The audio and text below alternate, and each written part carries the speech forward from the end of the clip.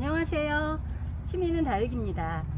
자, 여기 세 개의 다육이를 갖다 놨는데요. 얘네들의 공통점은 바로 이 물음이에요.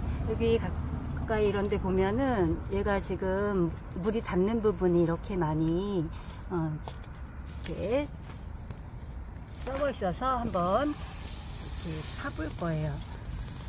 그러면 여기 어, 여기 지금 이 부분이 계속 이렇게 어, 물러서 들어오고 있죠. 요, 요 아이는 완전히 도려내야 할 것 같습니다. 그렇죠. 그리고 이 아이는 굉장히 건강해 보여서 제가 되게 믿었는데 얘는 이렇게 손으로 파, 이렇게 떨어지지도 않는 애예요. 그래서 이걸로 파야 돼요. 얘로 파서 한번 뿌리를 보겠습니다. 왜냐하면 얘가 여기요. 자, 여기 땅에 붙는 부분이요. 여기가, 어, 물렀더라고요. 그래서 제가 그냥 물러서 오늘은 그냥 파보고, 그래서 점검을 해보려고 지금 파, 뿌리는 굉장히 좋지요. 근데 여기를 보면은 여기도 이렇게 무름 현상이 있습니다.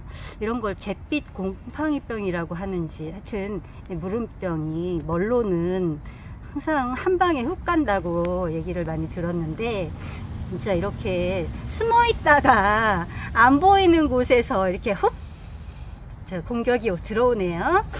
다음 여기 비슷하네. 자 화이트팜 철화입니다.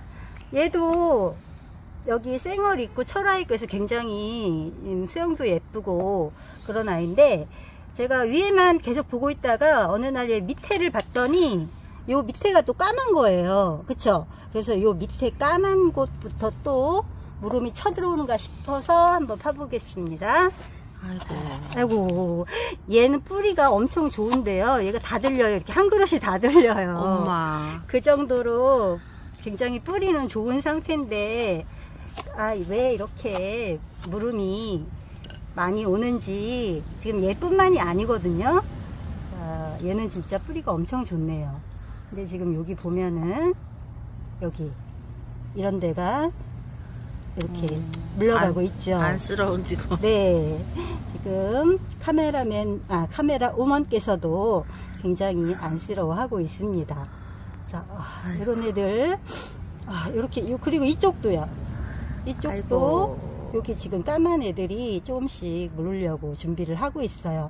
그러니까 얘네들이 무르는 거를 숨어서 해요. 그쵸? 맞아요. 어, 이렇게 대놓고 하는 게 아니라 이렇게 숨어서 해요. 그래서 숨어서 막 하다가 나중에 발견될 때는 이미 어. 늦었어. 어, 이미 이제 수습을 못하죠. 예, 늦어서 여기를 다 도려내야 한다든지 이렇게 아니면 완전히 보내야 된다든지 여기는 완전히 거의 보내야 될 상황이잖아요. 그렇죠?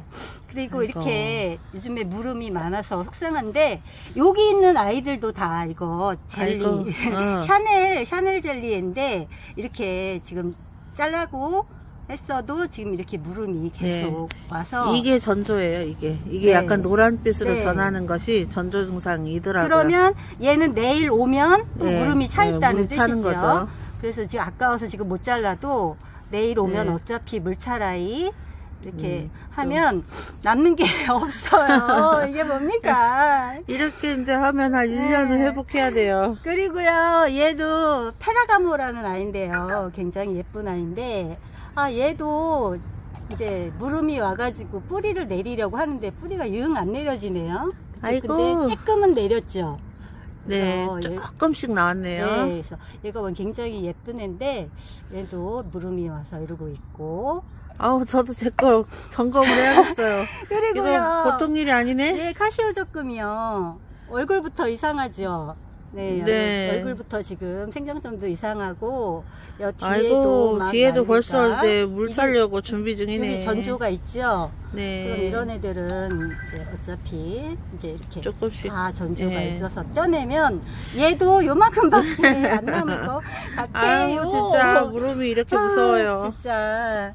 그래서 지금 여러분들은 무릎 상태가 어떠신지 얘네가 꼭 이렇게 숨어서 오니까 잘 지켜보시면 이렇게 들쳐서 한번 꼭 살펴보시기 바랍니다. 아시겠죠? 그러면 오늘은 이만 하고요. 내일 처치 상황을 다시 보여드리겠습니다. 어